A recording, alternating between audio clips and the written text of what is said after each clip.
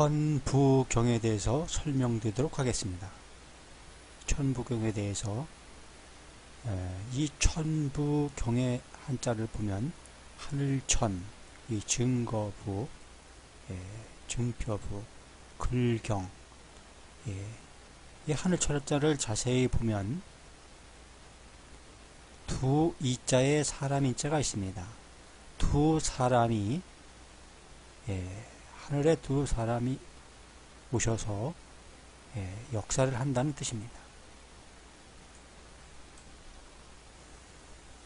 하늘의 두 사람 증거, 증표의 예언글 전부경은 문자를 갖춘 인류의 경전으로서 가장 오래되었다는 역사학자들의 말을 인용할 수 있겠습니다. 이 천부경은 굉장히 오래된 그런 예언서입니다.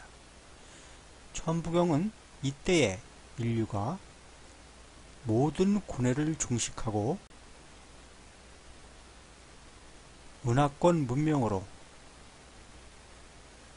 들어서기 이 과도기적 때에 최후의 오메가로 오시는 구원주 미륵불 모든 종교 및 예언가들이 오신다고 예언한 그분이 오셔서 증거 증표로 쓸 수 있도록 마련해, 놓은 예언서 글입니다. 이 글을 밝게 보시고 따라 임하시어 18세의 육신으로 살아서 병들지 않고 늙지 않고 죽지 않는 오직 즐거움만이 있는 낙원의 바늘에 이르시길 바랍니다.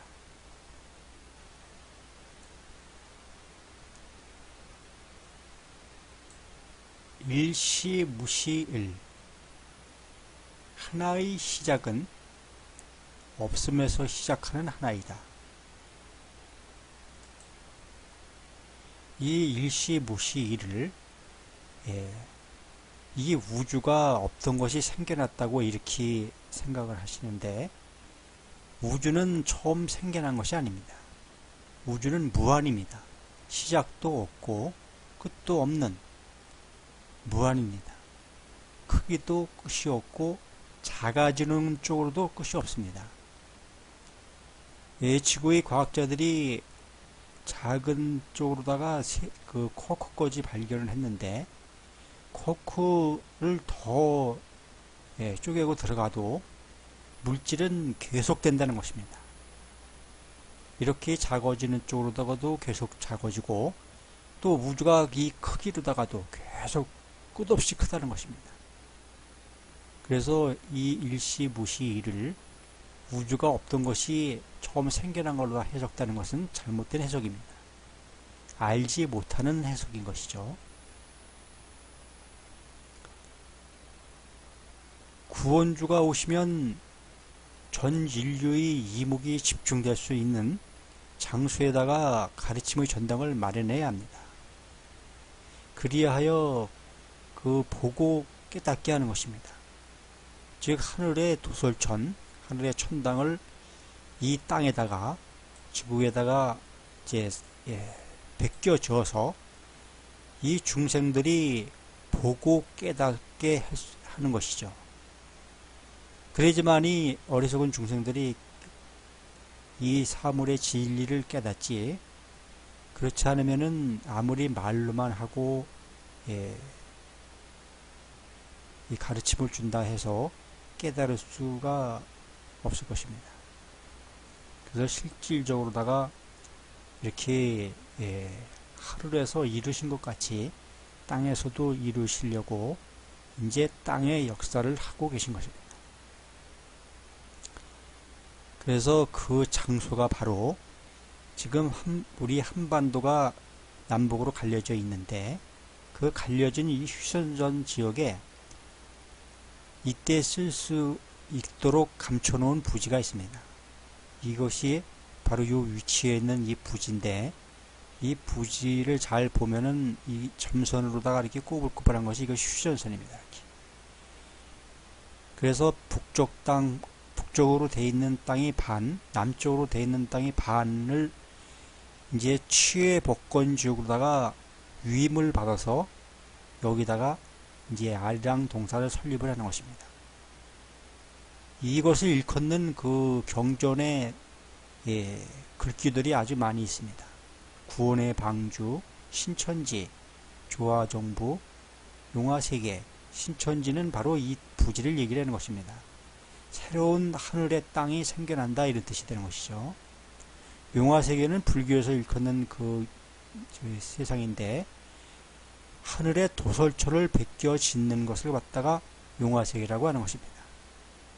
자하도 자하도는 이 빨간색과 파란색이 섞이면 자주색이 되는데 그래서 자하도 새우를 닮은 섬이다 이런 뜻이죠. 이 새우도 이렇게 예, 그림을 같이 이렇게 예, 대비해 놨는데 얼마나 새우를 닮았는가 보십시오. 우복동 호신방 한반도가 이 소처럼 생겼다고 그러는데 소, 예, 소 배에 위치한다. 그래서 우복등이라고 하고 또 호랑이처럼 생겼다고도 합니다. 그래서 호랑이 심장에 위치한다 해서 호신방 이렇게도 읽었고 조화정부 두 나라 사이에서 나오니까 예, 조화정부가 되는 것이죠. 없던 나라가 생겨난다. 그렇죠. 지금 없던 것이 이제 생겨나는 것이죠. 두 나라 사이에서 나오는 나라. 이렇게 남북한 두 나라의 부지를 중첩, 중첩해가지고 설립이 되는 것이니까 두 나라 사이에서 나오는 나라가 되는 것이죠. 이 면적이 예, 300km 평방미터씩 면적도 비슷합니다. 합해가지고 600km 평방미터가 좀 못 되는데 서울시가 600km 평방미터가 좀 넘습니다. 서울시만한 부지가 되는 것입니다. 이곳에 모든 종교에서 오시를 한 분이 오셔서 인류 구원의 방주를 짓는, 짓는 것입니다.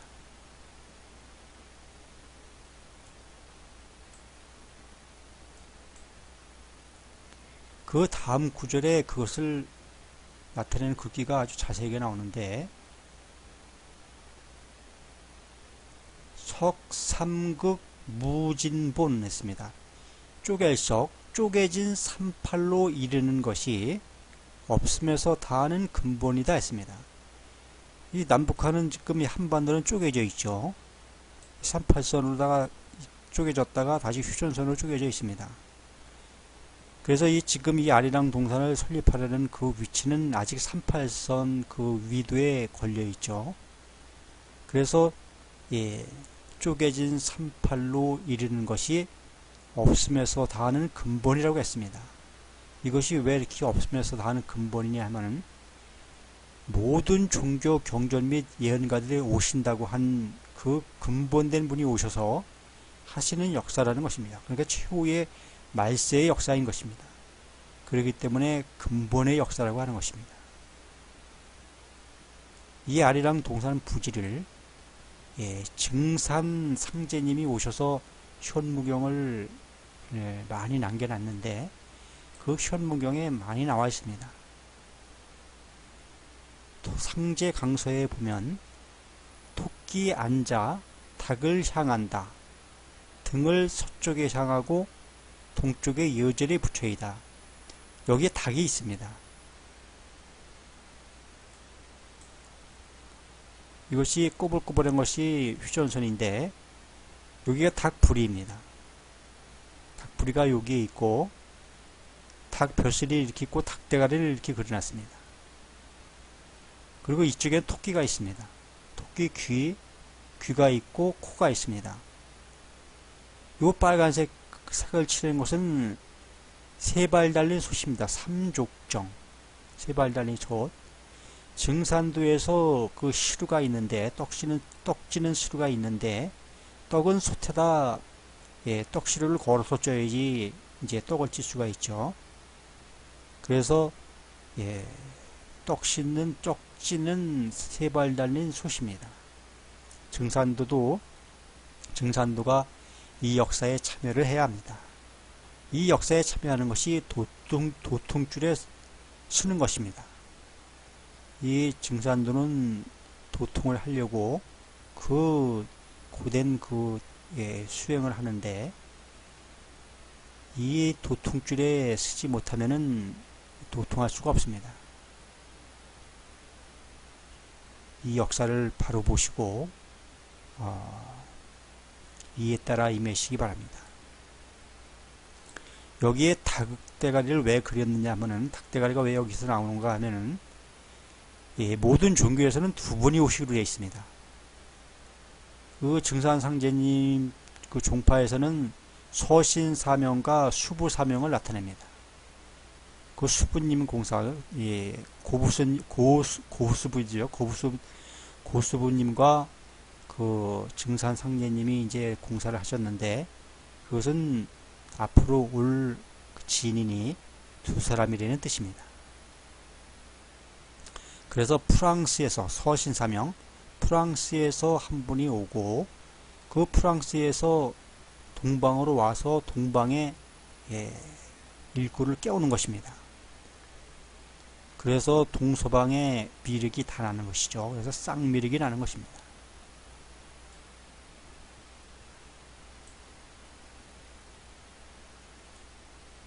이 예,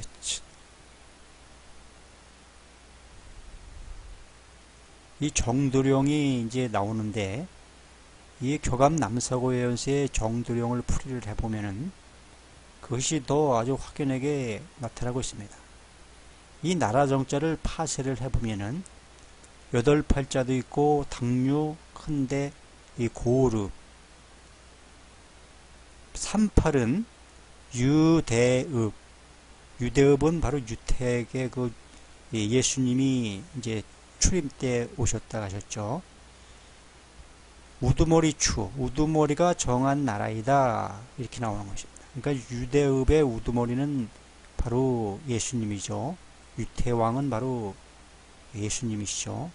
그래서 예수님이 동방으로 와서 한반도에 이제 예수님이 깃들 전당을 마련을 하는 것입니다. 그 아리랑 동산 부지 내에 초평도가 있는데 이 초평도가 바로 성배입니다. 이 초평도를 자세하게 보면은 마치 잔처럼 생겼습니다. 그래서 이 초평도가 바로 성배입니다. 예수님이 이곳에 깃들 것입니다. 그래서 이곳에서 역사를 하실 것입니다.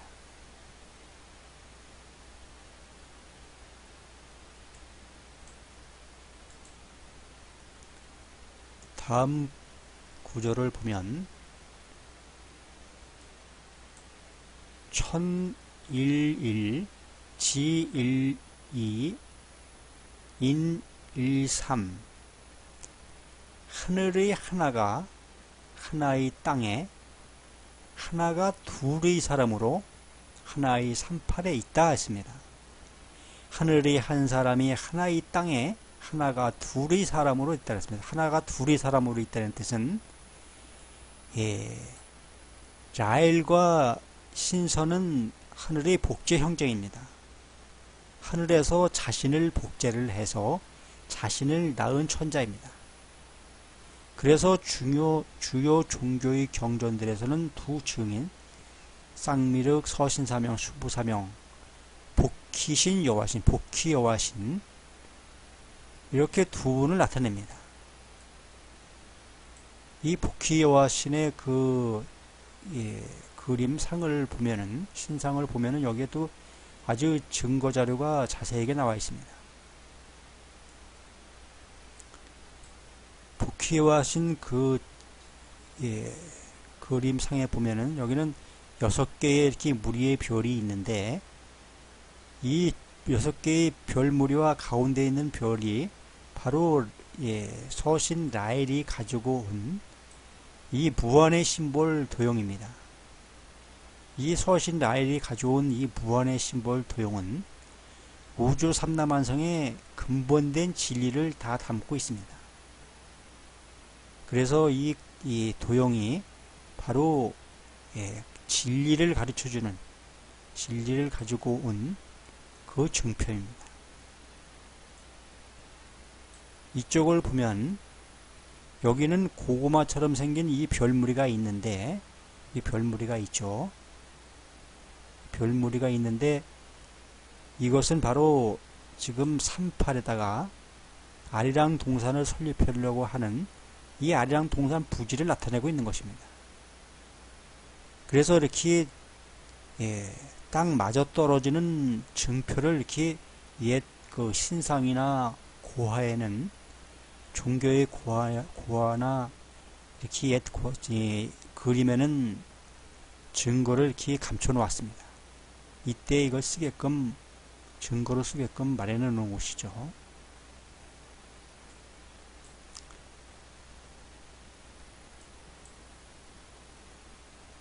다음 구조를 보면 일적 십거 일적 십거 묵계 화삼 그랬습니다. 일자를 쌓는다. 이 서양의 일자는 위에서 아래로 내려 긋죠. 이렇게 일자. 위에서 아래로 내려 긋습니다. 근데 이 동양의 숫자는 한문은 옆에서 이렇게 옆으로, 옆으로 긋죠. 그래서 일자를 쌓는다는 것은 서양의 일자와 동양의 일자를 쌓으면 십자가 되죠. 십자가 되듯이 크기가 끝이 없다는 뜻의 상자로 된 삼각형. 이 삼각형이 다회세별이 진리라 그랬죠. 삼각형을 두 개를 쌓으면은 이렇게 겹쳐서 쌓으면은 육각별이 됩니다. 이 육각도형의 별의 뜻이 바로 근본된 진리를 나타내고 있습니다. 이것이 격암 남사고 예언서에 바로 양궁쌍을 해서 나타내는 그 글입니다. 이 양궁은 바로 이 삼각형 화살표, 삼각형 화살표를 뜻하는 것입니다. 이 삼각형 화살표가 두 개가 겹쳐진 것의 뜻은 위로 향한 화살표는 예, 우주가 크기가 끝이 없다는 뜻이고 아래로 향한 화살표는 우주에 있는 물질이 무한히 작다는 뜻입니다. 이 코크 꼬지 발견을 했는데 그 코크를 더 예, 속으로 들어가도 예, 물질은 계속 작아진다는 것이죠. 그래서 우, 우주의 무한성을 나타내는 것입니다. 우주는 끝이 없습니다. 무한합니다. 이것이 근본된 진리입니다.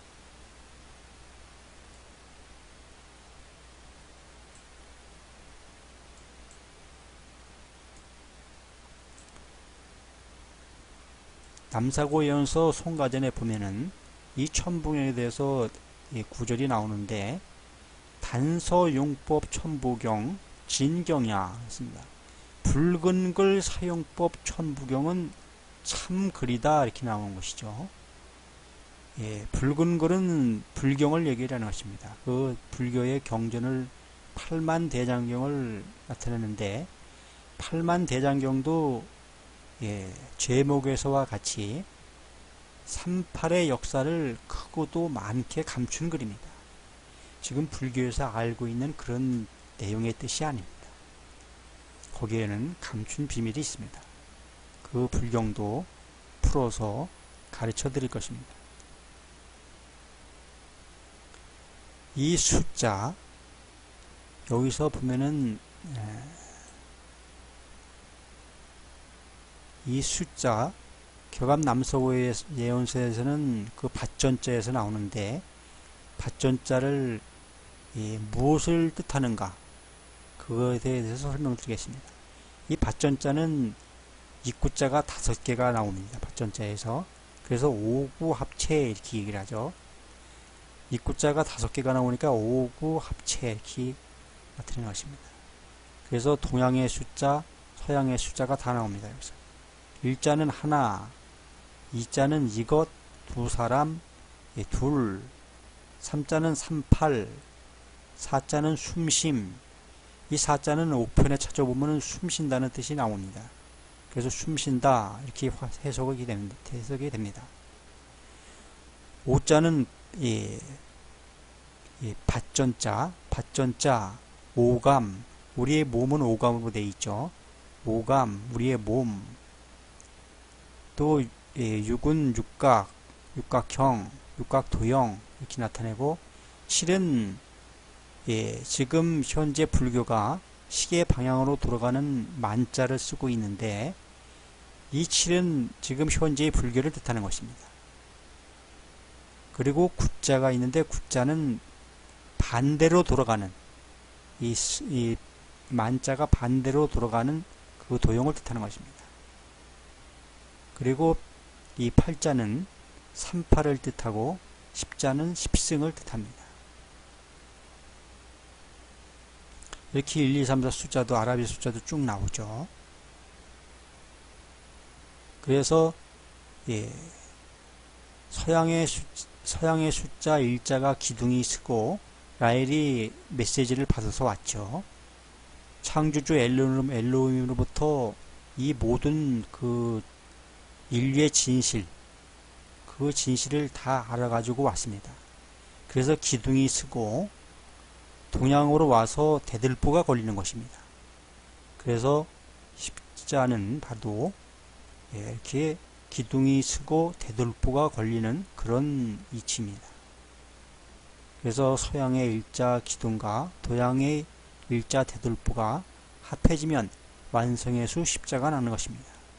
즉 이 십자는 창조주의 아들을 의미하는 것으로서 서양의 아들과 동양의 아들을 뜻하는 것입니다. 그래서 동서방의 예, 모두는 이 창조주 엘로힘의 다 아들 딸들입니다. 인류는 하나입니다. 이제 인류 화합의 시대가 이루어지기, 이루어지는 역사가 펼쳐지는 것입니다.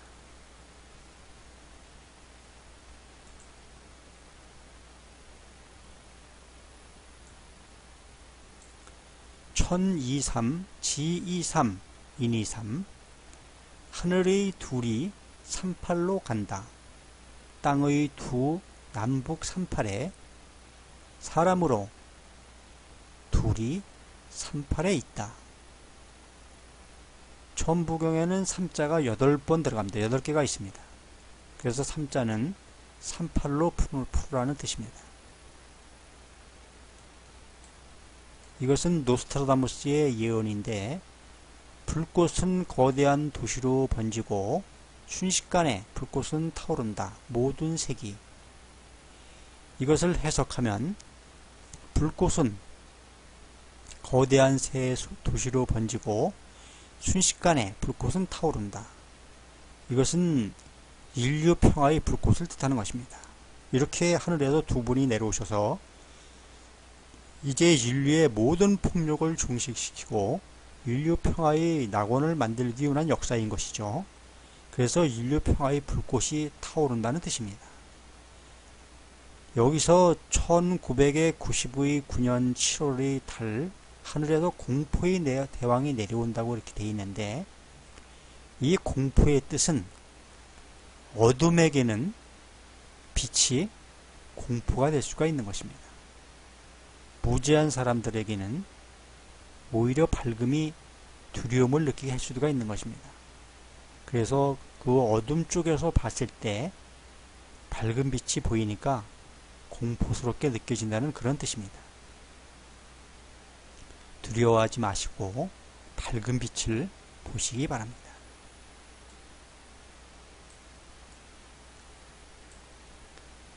이 예, 서방 대장군 상과 동방대장군 상도 이 날짜에 땅에서 다 발굴이 됐습니다.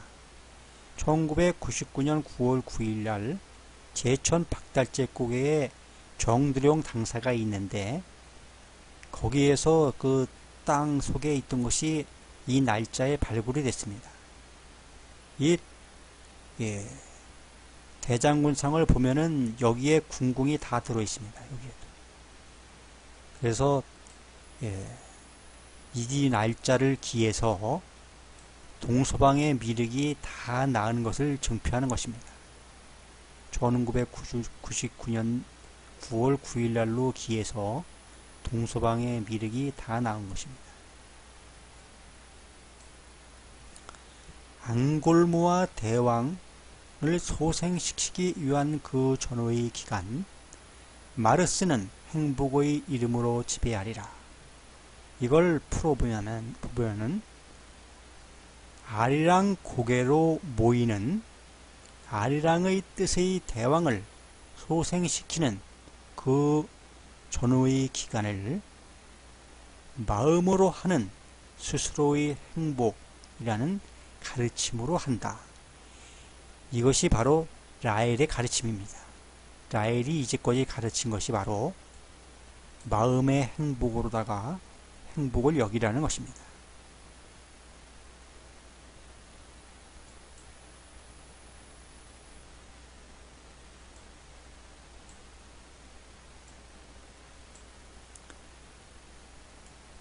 대삼합 육생 789 크게 가는 삼각형을 합해서 6이 나오면 이 도형이 나오면 기존의 절은 38의 절이 된다. 이 기존의 절은 이 만자가 시계 방향으로 돌아가는 만자죠. 구자는 시계 반대 방향으로 돌아가는 만자입니다. 라엘이 가져온 이 도형의 안에 들어가는 것은 들어가 있는 만자가 시계 반대 방향으로 돌아가는 표시죠. 그래서 현 불교는 이제 미륵불의 불교가 된다는 것입니다.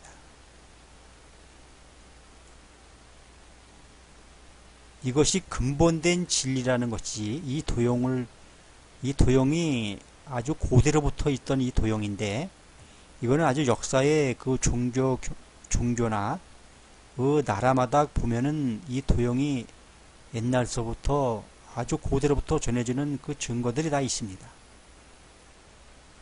이 도형이 근본된 진리이기 때문입니다. 이 도형을 나타내는 것이 바로 교감 남사고 예언서의 궁궁어르를 뜻하는 것입니다. 교감 남사고에서는 예언서에서는 궁궁어르를 여러 각도로다가 설명을 하고 있습니다. 그것을 보면 범남무미 궁울이라 그랬습니다. 넘침이 없으면 궁울이 아니다 그랬습니다. 이것은 제가 무한을 뜻한다 그랬죠. 예, 무한 대 무한소 이건 넘침이죠. 이렇게 넘침이 없으면 잘못된 풀이라는 뜻입니다. 궁궁 불화향면 궁궁은 화지 않고 면을 향한다 그랬습니다. 이 궁은 면이 있다 그랬죠.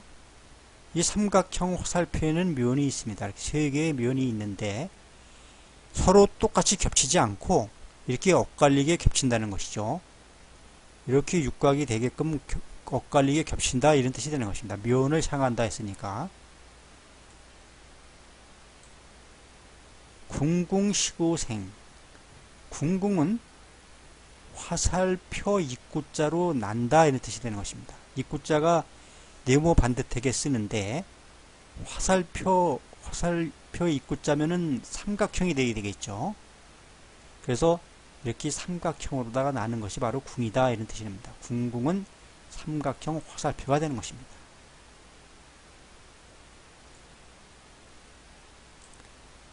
쌍궁 상화 만궁 했습니다. 쌍궁은 서로 화하고 물굽이 치는 궁이다.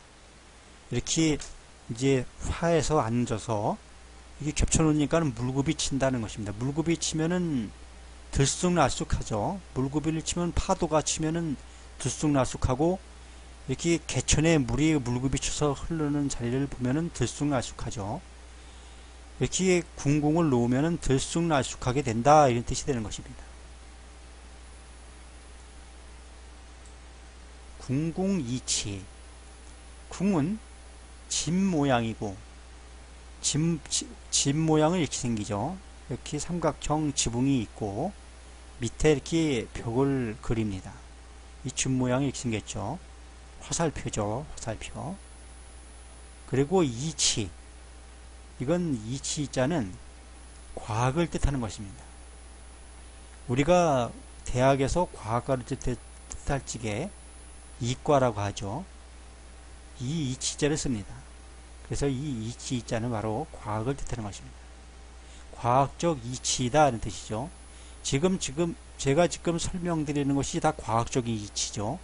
우주의 무한성, 물질의 무한소, 물질은 없어지지 않는다. 다 이 과학적 이치죠. 그래서 이건 과학적 이치로다가 돼 있다 이런 뜻이 되는 것입니다.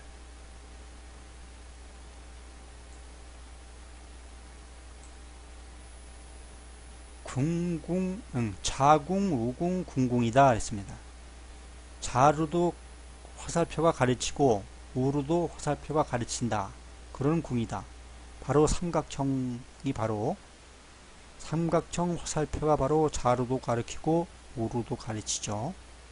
이 도형을 보면은 그렇게 되어 있습니다. 이렇게 이것을 나타내기 위해서 궁을 나타내기 위해서 이 요한 아니 그 노스트라다무스 그림 예언에도 이것이 나와 있습니다.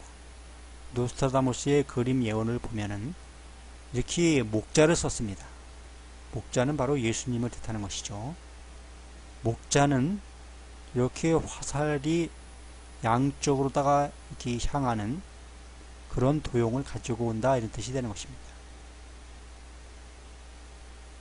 이렇게 화살이 양쪽으로 가르치죠. 목자는 좌우로 가르치는 화살 도용을 가지고 온다 이런 뜻이 되는 것입니다.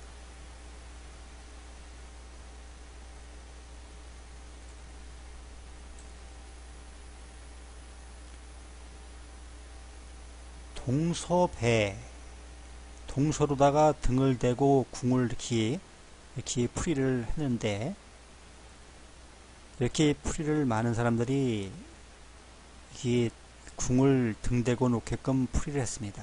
그래서 여기서 백십자가 나오게 풀이를 했는데 이렇게 풀이한 이제 그 예, 풀이는 풀이한 분들은 예,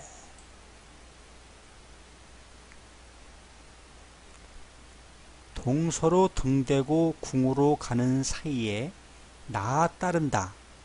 십승의 사람을 깨닫고 이제 이 십승의 사람을 깨닫고 이제 이 십승의 역사를 따라야 합니다. 그래야지만이 예, 올바른 진리의 전당으로 들어 이제 구원을 받을 수 있게 되는 것입니다.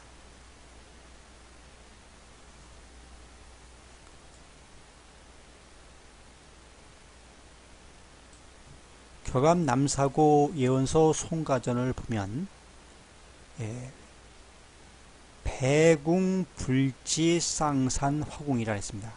이것은 등 대고 있는 궁은 아닌 알미다 했습니다. 이렇게 푸른 이렇게 등 대고 궁을 푸른 이 풀이는 잘못된 알지 못하는 예, 알미다 이런 얘기죠. 등 대고 있는 궁은 아닌 알미다. 쌍산으로 화함의 궁이다. 이렇게 푸는 것이 다에세 별, 이 모양으로 다 궁을 푸는 것이 맞다는 뜻입니다. 이렇게 아주 자세하게 이렇게 나와 있습니다. 그래서 돌 필자를 보면 이렇게 화살궁이 두 개가 있고 안에 이렇게 백십자가 나오듯이 흰 백자를 안에다 넣어서 돌 필자를 썼습니다. 이렇게 푸른 분들은 이제 예, 이걸 바로 보시고 이제 이 하늘의 역사 예, 이 역사를 도우라는 것입니다. 이렇게 자세하게 가르치고 있으니 이를 밝게 보시고 이제 이 하늘의 역사를 예, 따라 도와야 합니다. 궁궁으로 가는 사이 낳은 백십자를 섬기는 종파는 두 궁으로 가는 데 있어 첫째 백보자를 도와야 한다. 첫째 백보자는 38선 자도의 아리랑 동산을 설립하는 보자입니다. 이 아리랑 동산을 설립하는 것을 예, 도와야 합니다. 이 시온산으로다가 모이라고 했는데 예, 시온산에 예수님과 신호도 입은 무리 14만 4천 명이 있고 또 누구도 헤아릴 수 없이 많은 신옷 입은 사람이 이제 나오는데 이 시온산이 바로 아리랑 동산을 나타내는 것입니다. 이 시온산을 보면은 시, 화살 시, 온, 좋아할 온, 조화로움을, 조화를 이룬다는 뜻이죠. 이 조화로움을 이룬다는 이 좋아할 운자를 보면은 여기에 당유자가 있습니다. 서신 라일이 닭의 나라 프랑스에서 나왔죠. 그래서 이 프랑스 온 사람의 말씀의 그릇으로다가 오라는 얘기입니다. 말씀의 그릇은 바로 이 도용을 뜻하는 것입니다. 그릇이죠. 말씀의 그릇이죠. 그래서 이 시온산은 바로 아리랑 동산을 설립하는 그 장소를 뜻하는 것입니다. 이렇게 궁을 나타내는 데는 동서방의 모든 그 예언서에 다 나와 있습니다. 이것은 추배도의 그 예언서에 나와 있는 그 그림인데 여기에도 토끼가 나와 있고 예, 여기도 활이 있습니다. 이렇게 동서방을 막론하고 이 진리의 길을 가르쳐 주려고 이렇게 많은 근거자들을 남겨 놓았습니다. 이렇게 예, 여러 근거 증거 자료들을 제시를 하니 이를 밝게 보시고 이에 따라 이르시기 바랍니다. 이에 이르는 마음은 돌아오는 목숨의 예도 이죠.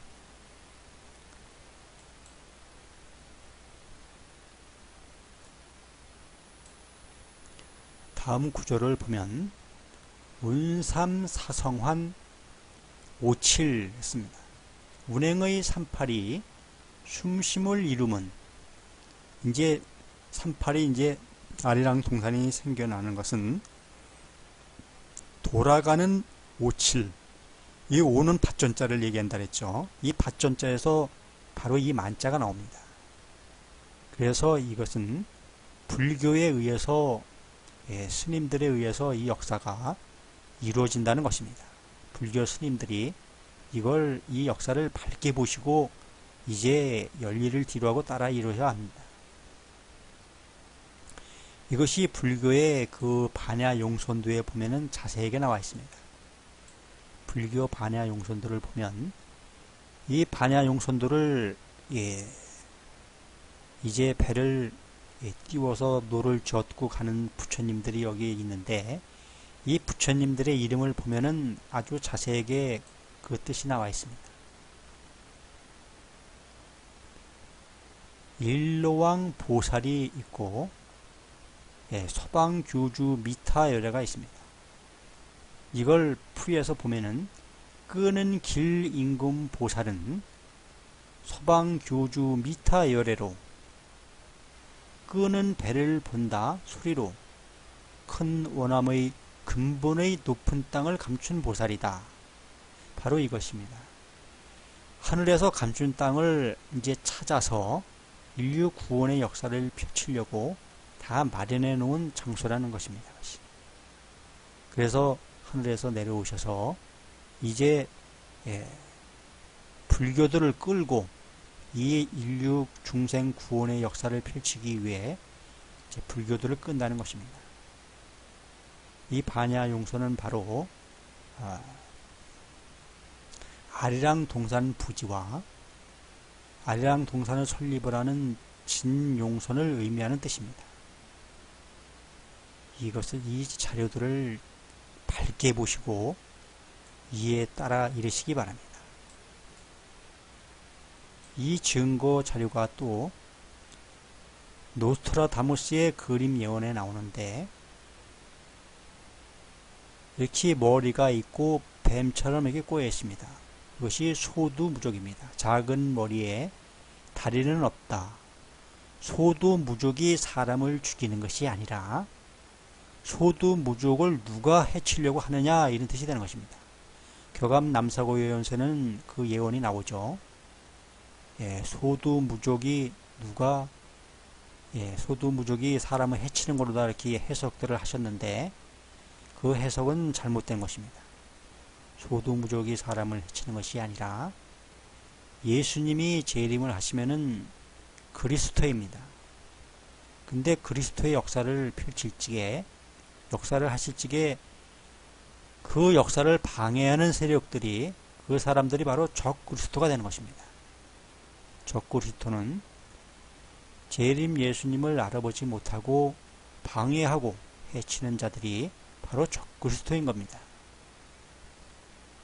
여기 보면 이렇게 보리가 세 개가 있는데 이것이 삼보리입니다. 삼보리는 불교를 뜻하는 것입니다. 불교 경전에 보면은 안옥따라 삼막 삼보리가 아주 여러 번 나오죠. 삼보리는 바로 불교도를 끌고 이 아리랑 동산 역사를 한다는 뜻입니다. 그래서 이 머리는 작고 이 말세 구원주는 겹쳐진 달 목걸이를 하고 나온다는 것입니다. 달이 겹쳐져 있죠. 겹쳐진 달 목걸이는 바로 이것입니다. 태극을 세워서 겹쳐진 달이 됐습니다. 그래서 달 목걸이를 하고 역사를 펼친다는 것입니다. 그래서 육각꽃이 나부낀다고 하는 것이 바로 그 뜻입니다. 38의 육각별이 나부낀다. 육각꽃이 나부낀다. 육각꽃잎이 나부낀다는 것은 바로 이 도형을 뜻하는 것입니다.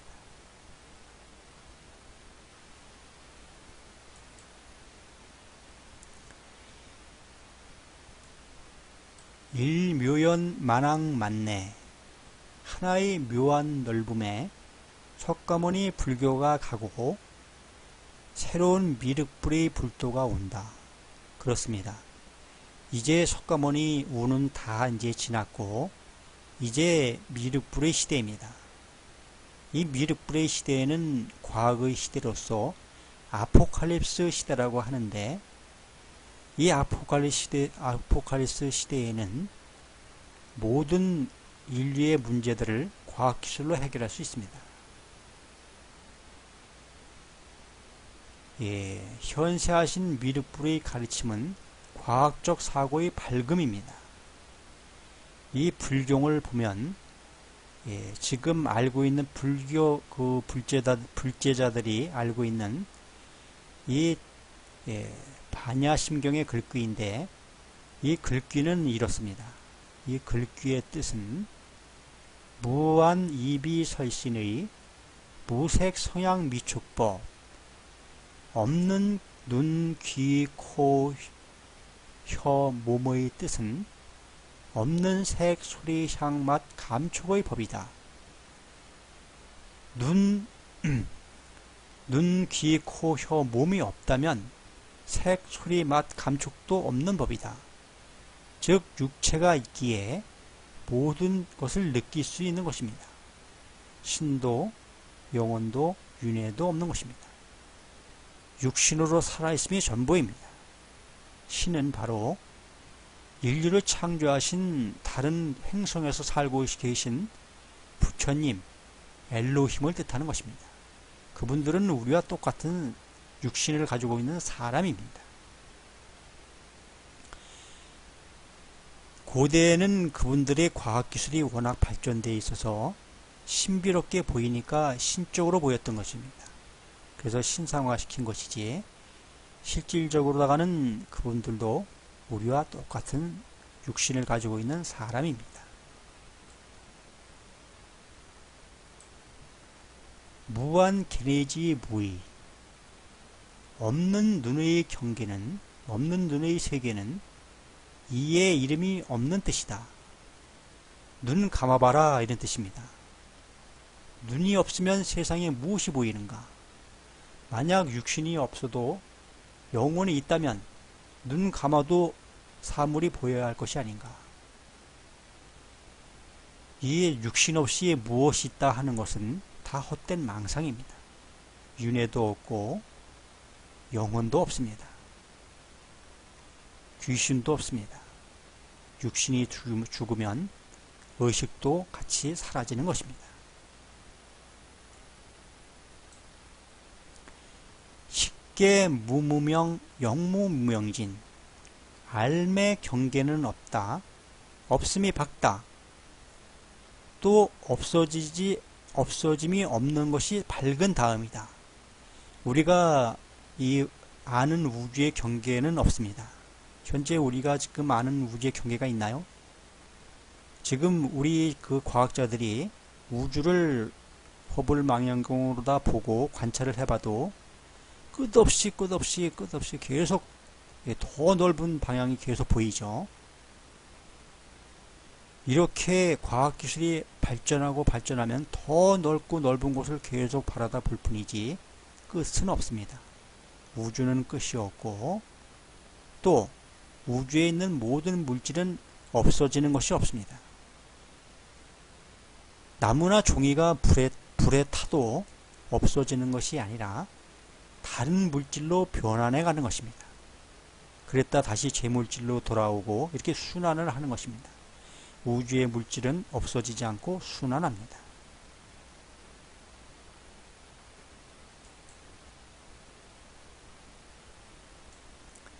용변부동본 쓰는 변화에 안이 움직이는 근본이다. 지금 이 진리를 가르쳐 드리는 것은 우주의 절대 진리입니다. 이 진리는 세상의 변화에 안이 변하는 우주의 절대 진리입니다. 이제까지 모든 종교들은 예, 일부분씩을 가지고 그것이 마치 전체의 진리처럼 알고 있었으나 그것은 코끼리의 일부분을 만지는 그리고서는 그것이 전체의 진리로 착각하고 있었던 것이지 그것이 우주 삼라만상의 진리는 아닙니다. 이제 근본될 진리를 가르쳐 드리니 이 근본된 진리를 밝게 보시고 따라 이르러야 합니다. 우주는 끝없이 무한히 크고 물질은 무한히 작다. 지구의 과학자들이 코끝까지 발견을 했는데 그 코끝 속으로 무한히 작은 물질이 계속 있는 것입니다. 우주의 물질은 없어지는 것도 없이 계속 순환합니다. 지구상의 모든 생명체는 지구에서 1광년 거리 행성에서 오신 엘로힘이라고 불리어지는 사람들에 의해 과학적으로 실험실에서 지구의 원자 단위의 물질을 조합하여 창조한 것입니다. 지구의 인간들도 폭력성을 이제 사랑으로 순화한다면 멀지 않은 미래의 창조자가 될 것입니다.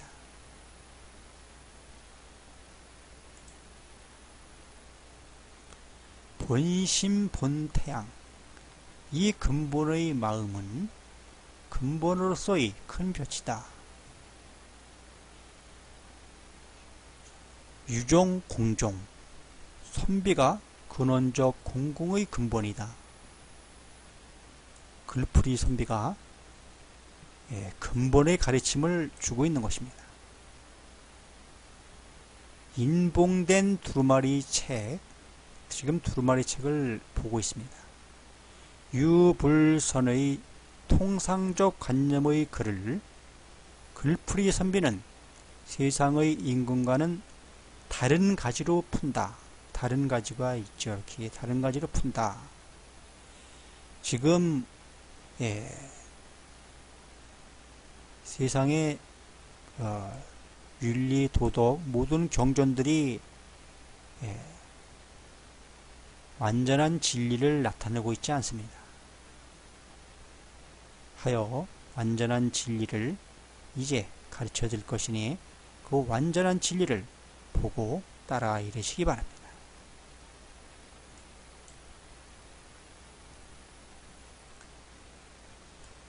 악명인중천지일 밝고 밝은 사람 중에 하늘로 땅이 하나 된다. 이제 밝게 이 역사를 보시고 따라 이르는 사람은 이제 하늘에 드는 하늘에 이르는 능력을 갖추게 됩니다. 의식의 밝음으로 중간에 드는 사람은 하늘로 땅이 하나님과 같이 된다. 성경 창세기를 보면 이 사람이 선악을 아는 일에 우리 중 하나같이 되었으니 손을 들어 생명나무 실과도 따먹고 영생할까 하노라 했습니다. 인류가 폭력성을 극복한다면 생명나무 실과 먹음을 허락하는 바입니다. 절대적 비폭력을 고수하여 불사 영생의 은하권 문명에 이르시길 바랍니다.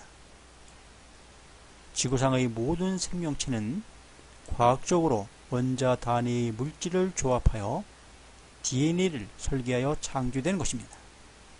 창조주 아버지는 육신으로 살아계신 사람입니다. 이렇게 창조주 아버지는 이렇게 생기셨습니다.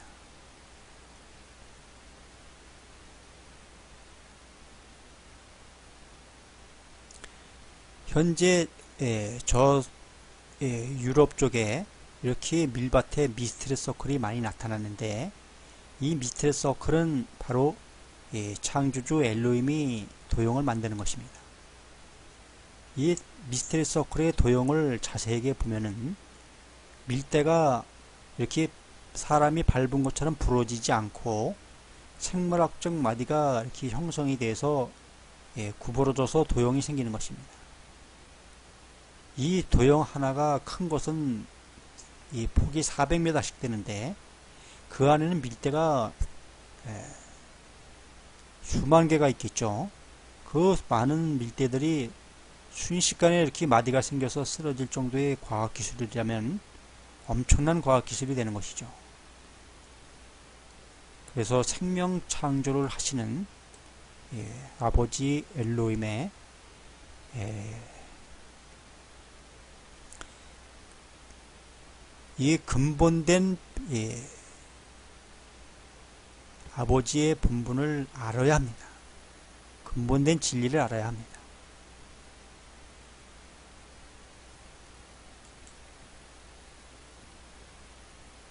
일종 무종일 하나의 마침은 없는 마침의 하나이다. 이제 구시대를 마치고 마침 없는 불사영성의 시대가 시작되는 것입니다. 이제 쌍어공 시대는 다 지나갔습니다. 이제 보병공 시대를 맞이하여 예.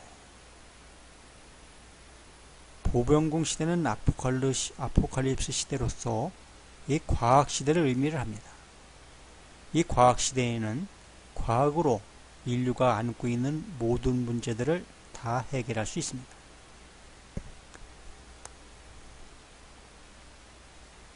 이를 밝게 보시고 이에 따라 이르시기 바랍니다.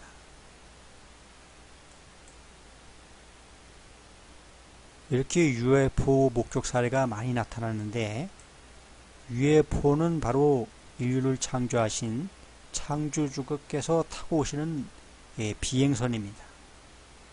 이렇게 타고 오셔서 자꾸 이적을 나타내면서 예, 엘로임의 예, 귀환을 자꾸 나타내고 있는 것입니다.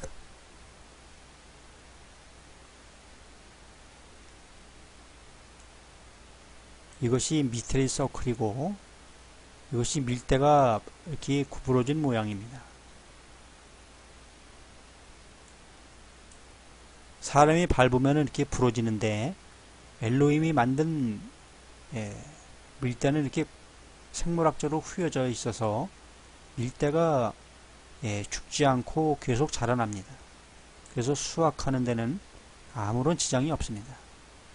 이렇게 마디가 형성이 돼서 이 마디가 형성이 돼서 수확을 하는 데는 전혀 지장이 없게끔 이렇게 예, 생물학적 마디로다가 구부러지게 만들었습니다.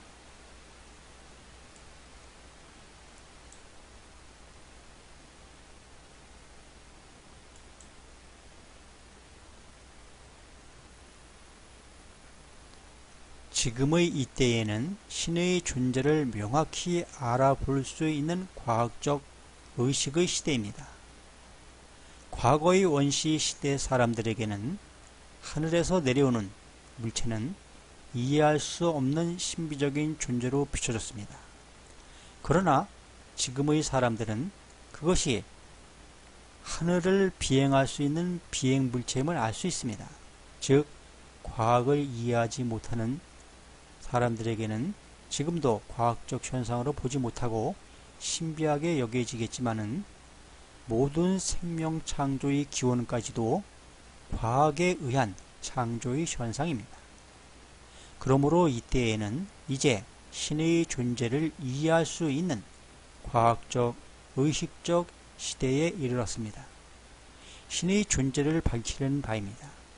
신은 지구에서 일광년 거리 행성에서 육신으로 살아계신 사람들을 일컫는 것입니다. 그들의 과학 수준은 지구상의 모든 생명체를 생명공학 기술로 창조했으며 우주의 삼라만상의 실상을 모두 알고 모든 현상 작용을 지울 수 있는 전지전능한 수준의 수준입니다. 그분들이 모든 종교의 경전에서 일컫는 신이며 부처이며 상제며 상제님 등등으로 숭배받는 대상입니다. 이제 이제 때가 되어 인류를 자멸에서 구하고자 두 증인 쌍미륵 서신사명 수부사명의 역사를 맡깁니다. 보편적 상식을 뛰어넘는 말씀을 귀담아 듣는 것이 말씀을 깨닫는 길이라는 것을 명심하시기 바랍니다. 이를 밝게 보시고 이에 따라 이르시기 바랍니다. 이에 이르는 마음은 돌아오는 목숨의 예도입니다. 이상입니다.